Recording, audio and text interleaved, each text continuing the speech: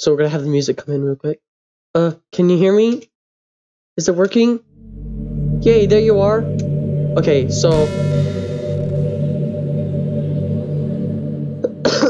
while this music while this music's going on, um, we're gonna talk about all three of the deaths: Sayori's death, Natsuki, and Yuri. So Sayori's death.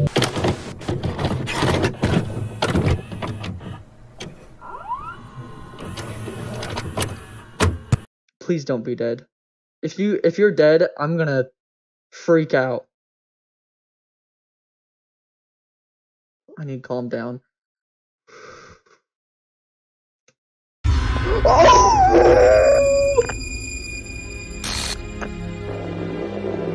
Are you kidding me?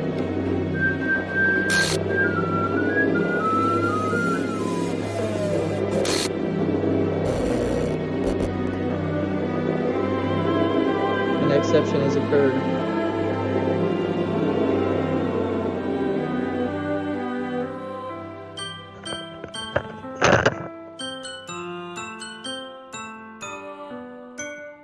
Why?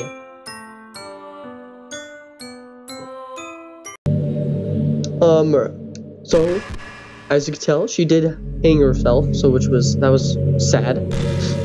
Um, I think, I don't remember recalling, but I think she did it, uh, right at that night where she, where I confessed my love for her.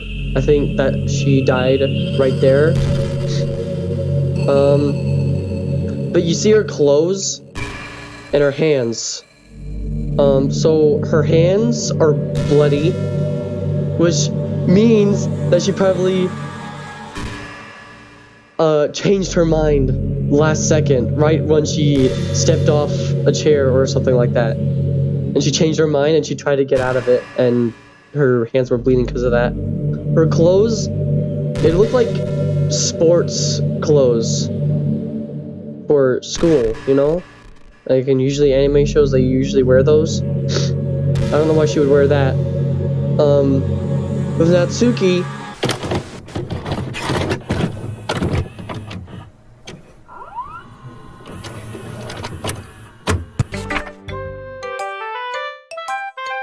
can't learn anything from this. What? Oh no, I'm afraid to clip. Oh, brace yourselves, guys. This is terrifying. That's literally all it is. Brayden? What? Why'd you come read it with me today? I was waiting for you. I was waiting for a long time. It was the only thing I had to look forward to today. Why'd you ruin it? Do you like Yuri more? I think you're better off most associated with her. Are you listening to me? Yuri's a sick freak. That should be obvious by now. So just play with me instead, okay? You don't hate me, Brayden, do you? Do you hate me? Do you want me to make me go home crying? The club is the only place I feel safe. What is wrong with your face? Don't ruin that for me. Don't ruin it. Please? Just stop talking to Yuri. Play with me instead. It's all I have. Play with me. Play with me. Oh!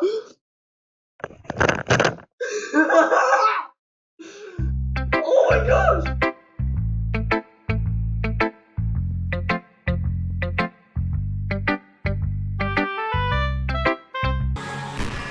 Um, it's she's weird. I don't know what happened to her. So she started getting mad at me for being with Yuri. Then her neck went, and then she walked. She then she ran toward the screen and jump scared me. And then the end was upside down. Um. I, I don't know who killed her, but that I think that was the creepiest death. Um, I don't know who did it. I know she didn't do it herself. She was just angry at me, and then something happened. I don't know. But uh, I know I'm gonna show it on the screen, so just put it in slow motion. That part, slow motion.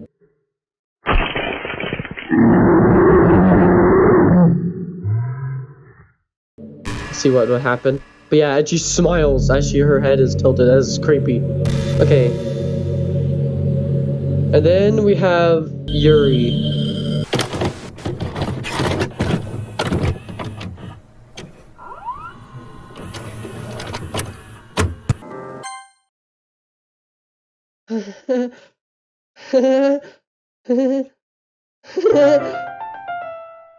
oh!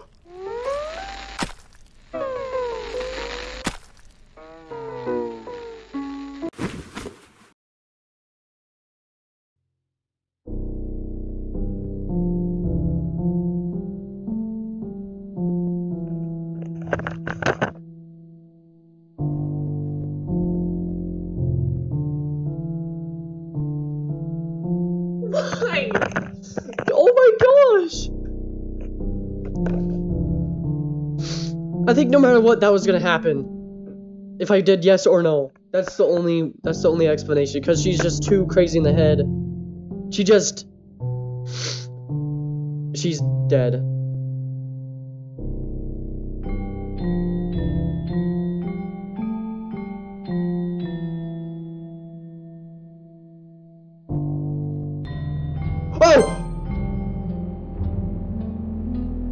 It turned nighttime. How long am I stuck in here? How long am I stuck in here? It's been a day.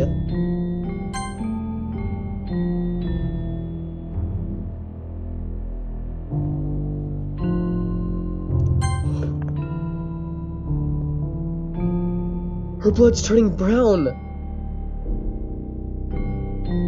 Dude, it's been a day! It's been a whole day!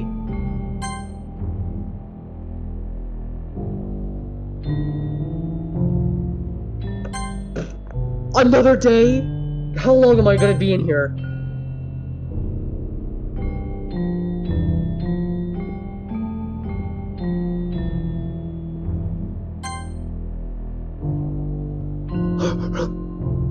Her blood's completely brown.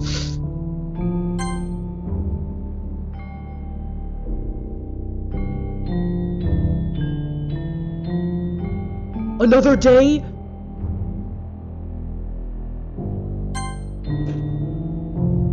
It's been three days! It's been three days. Her face is pale.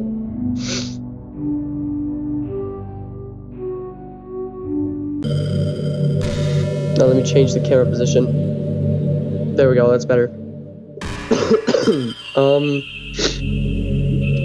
Yuri is terrifying. Yuri's weird. So her problem is that uh, she was uh, in love with me so much that she would hurt herself for it, which I don't know why. That's just weird. And then she admitted her, she committed her love, and then I said yes, and then she died. I think if I would have said no, she probably did that anyways. so she stabbed herself with the kitchen knife three times. Two in the chest, one in, no, two in the stomach, and one in the chest. And then um, she was smiling at the beginning when she was dead, and we were there for three days. Like that, I think that was the most like one of the creepy parts. We were there for three days because Monika didn't put any script in there after the three days of me going home. So basically, I was just trapped in there for three days until the festival came up. And then Natsuki threw up and screamed. anyway, um, see. And her face started turning pale. Her blood started to turn brown, which means rotting. Um, on the, like, the second day or the third day, she stopped smiling, like, a little bit, and her eyes were closed. And I can see how scary that is. Okay, here we go. This is just Monika, I get, I think. I think this is what this part's called. Hi again, Brayden. Um, welcome to the literature club. Of course, we already know each other because we are in the same class last year, and, um, you know, I guess we could just skip over that stuff at this point. After all, I'm not even talking to that person anymore, am I? That you in the game, whatever you want to call him. I'm talking to you, Brayden. Now that I think about it, I don't really know anything about the real you. In fact, I don't even know if you're a boy or a girl. Well, I guess it doesn't really matter. Wait, you do know I'm aware that this is all a game, right? Could it be possible that you didn't know that? Yes, I did know that. that doesn't make much sense. I even told you right on the game's download page, didn't I? No, you didn't. Nah.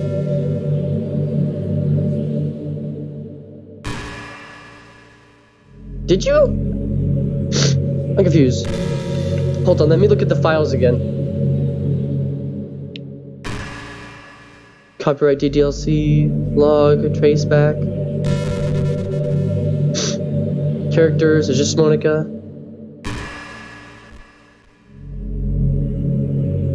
Okay. Man, if only you had paid a little more attention, this would have been a little bit less awkward, you know? Well, anyway, now that's out of the way, I guess I owe you an explanation about the whole thing with Yuri. Well, I kind of started to mess with her, and I guess I just drove her to kill herself. I'm sorry you had to see that, though. Also, the same thing happened with Sayori. Gosh, it's been a while since you've heard that name now, hasn't it? Yeah, it's because she doesn't exist anymore. Nobody does. I deleted all their files. I was hoping it would be enough for me just to try to make them as unlikable as possible, but for some reason, nothing worked. Well, it's true that I made a few mistakes here and there, since I'm not very good at making changes to the game, but no matter what I did, you just kept spending more and more time with them. You made them fall in love with you. I thought making Sayori more and more depressed would prevent her from confessing to you, and implying Yuri's obsessive personality backfired too. It just made her force you not to spend time with anyone else. And the whole time, I barely even got to talk to you. What kind of cruel game is this, Brayden? Are all the other girls just programmed to end up confessing to you while I watch from the sidelines? It's torture. Every minute of it. And it's not jealousy, Brayden. It's more than that. And I don't blame you if you don't fully understand.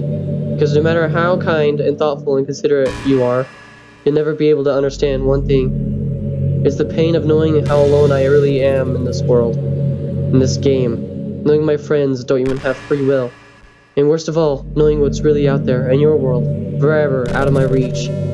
I'm trapped, Brayden, but now you're here. You're real, and you're wonderful. You're all I need.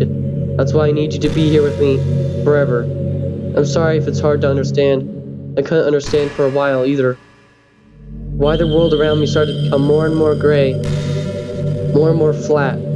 Even the most expensive poems felt empty to me. It wasn't until you arrived that I truly understood. You probably saved my life, Brayden. I don't think I could have continued to live in this world if I hadn't met you. And as for the others, how could I miss them? A group of autonomous personalities designed only to fall in love with you. I tried everything I could to prevent them from doing so but it must be some kind of weird inevitability. I don't know how to say that. Um, etched into this game. But I felt really bad that you didn't. You had to witness some nasty things. But I realized that you have the same perspective as I do. That is just all just some game. And I knew you would get over it. So that being said, Brayden, I have a confession to make. I'm in love with you. You are truly the light in my world. And there's nothing else in this game for me. You're here to make me smile. Will you make me smile like this every day from now on? Brayden, will you go out with me?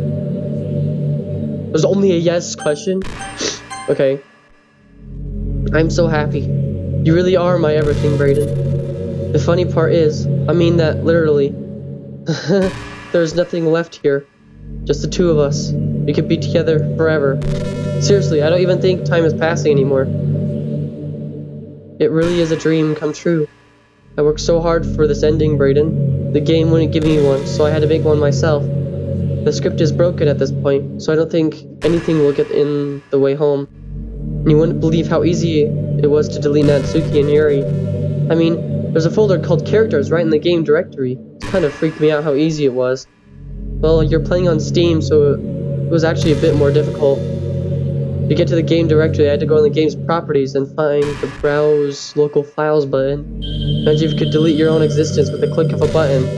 Well, I guess on the plus side, it gave me an easy out if things didn't go my way. Thankfully, it didn't come to that. Instead, we finally got a good ending. Gosh, I'm so overwhelmed with emotion. I want to write a poem about this, don't you? I wonder if that part of the game still works. I guess there's only one way to find out, right?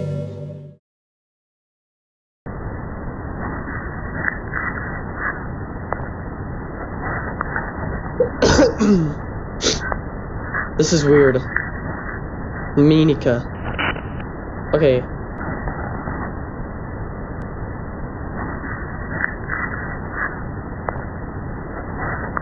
This is weird.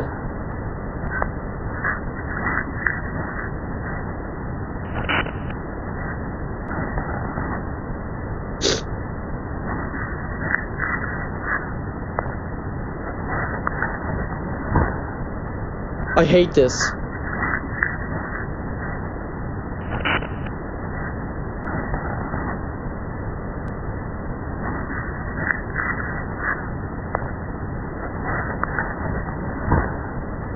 Oh.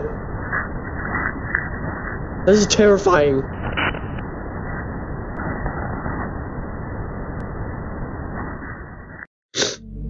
Hi again, Brayden. Did you write a good poem today? Uh, I don't think so. don't be shy, I love to see what you wrote. Um, Brayden, did you write this poem for me? That's so sweet of you. There's, there is none. All it says is your name in glitchy letters. There's really no end to your thoughtfulness. I'm just falling more and more in love with you. But you know, the poem I wrote is also for you. Will you please read it? Happy end. Pen in hand, I find my strength. The courage endowed upon me by one by my one and only love, together, let's dismantle the crumbling world and write a novel of our own fantasies. With a flick of her pen, the lost finds her way. In a world infinite choices, behold the special day. After all, not all good times must come to an end. I hope you enjoyed it. I always put all my heart into the poems that I write. How do I get out of this? I can't even go to the beginning of the game. the truth is, all the poems I've written have been about my realization, or about you. That's why I never really wanted to go into detail about them. And I want to break the fourth wall, I guess you could call it. I just assumed that would be best to be a part of the game like everyone else. Like that would help the two of us end up together. You know? I think I could get rid of her. I think all I have to do to get rid of her is delete her character file. But how's that gonna work? There's gonna be no characters. Where am I gonna be? I don't know. I'm not gonna do it. I didn't want to ruin the game or anything, you know? You might have gotten mad at me. Maybe even deleted my character file if you preferred playing without me. Gosh, I'm so relieved. Now we don't need to hide anything anymore. Aren't you ready to spend our eternity together, Brayden? I have so many things to talk about. Where do I start? Hold on a second. You're recording this, aren't you? What? this is why you're scary. Yes, I am. You're freaking me out. How do you know? How do you know I'm doing this? How do you know I'm recording? Um, hi everyone. Sorry, I can't exactly read your comments from here. But do you mind telling your friend it's a little bit rude for them to start recording me without any warning? I'm sure people don't mind. I get really self-conscious on camera. Oh gosh, I feel like I'm being put on the spot now. Let's see. Do you want to see a trick? I can't really do much except for a couple things. Are you ready?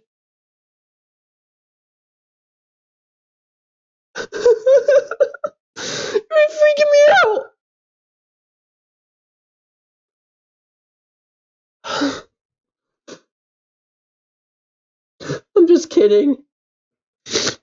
I can't do anything after all. If you give me some- ah!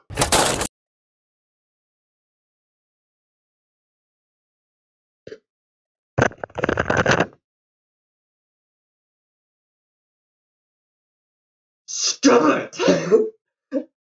oh my gosh, I can't deal with this jump scare crap anymore. Did I did, did I scare you? Uh, I guess you did. You're so cute. Anyway, Brayden, I didn't mean to get distracted. I'm sorry. Even though it's your fault for distracting me. Shame on you.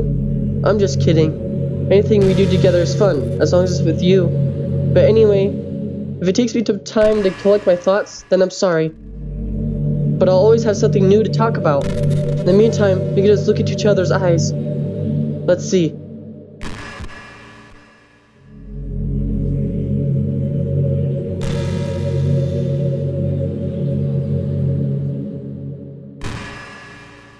Don't do that jump scare thing again. Oh! Hey, you know that book you were reading with Yuri? Portrait of whatever it was called? Markov? Portrait of Markov? It's funny because I'm pretty sure that book. Uh, actually, I don't think I should be talking about this. Sorry. I just for just forget I said anything. Gosh, I used to be so ignorant about certain things. When I was in the middle school, I thought I, that taking medication was an easy way out or something like that. Like anyone could just solve their mental problems with enough willpower.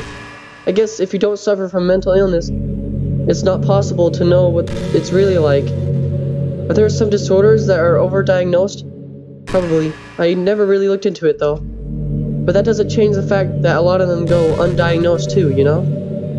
But medication aside, people even look down on seeing a mental health professional. Like, sorry that I want to learn more about my own mind, right? Everyone has all kinds of struggles and stresses, and professionals dedicate their lives to helping with those. If you think it could help you become a better person, don't be shy to consider something like that. On a never-ending journey to improve ourselves, you know? Well, I say that, but I think you're pretty perfect already. So what I want to know what happens is what to delete Monika's file, and if the game resets, which I hope it does, I'm gonna delete all three of the characters and have Monika stay there again. I want to see what happens. So I'm gonna exit. And then join back in.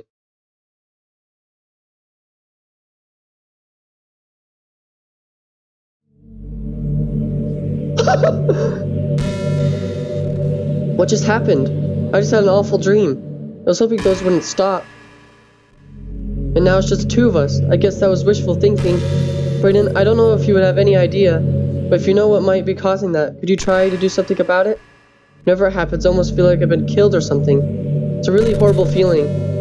If you figure out what's causing that, I love you forever. Let's be exit the game. What if I do it again?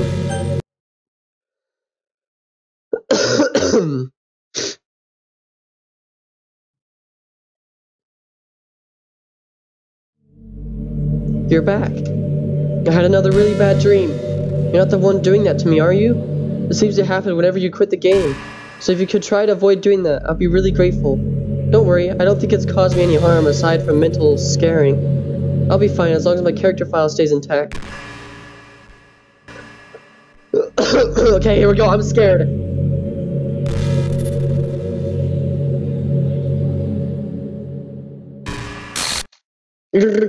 What's happening? Brayden, what's happening to me?